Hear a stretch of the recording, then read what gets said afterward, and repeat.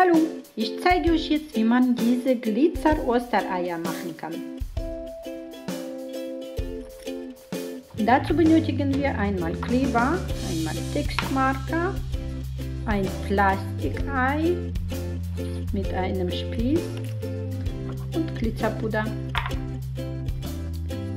Wir teilen erstmal das Ei in vier Teile auf.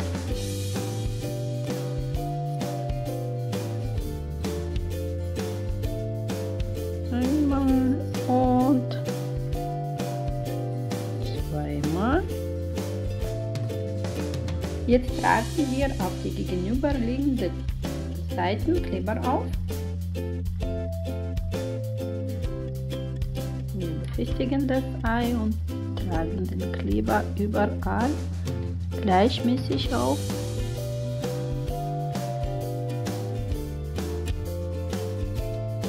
Seite bis zu dem Strich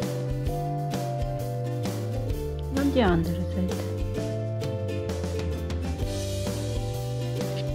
Jetzt nehmen wir Glitzerpuder und streuen das da drauf. Es bleibt nur da haften, wo wir Kleber drauf getan haben.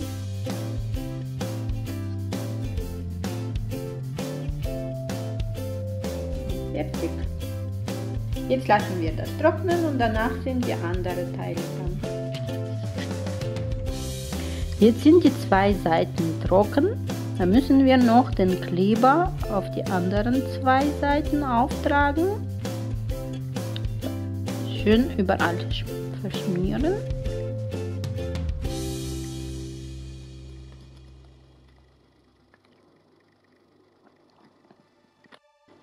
Und jetzt streuen wir Glitzerpuder auf die anderen Teile drauf.